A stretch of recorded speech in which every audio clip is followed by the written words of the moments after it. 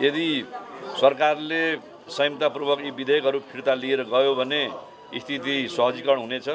यदि यी विधेयकहरूलाई जबरजस्ती सदनमा प्रवेश गराउन खोज्यो भने त्यसमा नेपाली काङ्ग्रेसले सदनभित्र पनि र सदन बाहिर सडकमा पनि यसको चाहिँ विरुद्धमा नेपाली काङ्ग्रेसले आफ्नो शक्ति परिचालन गर्नेछ।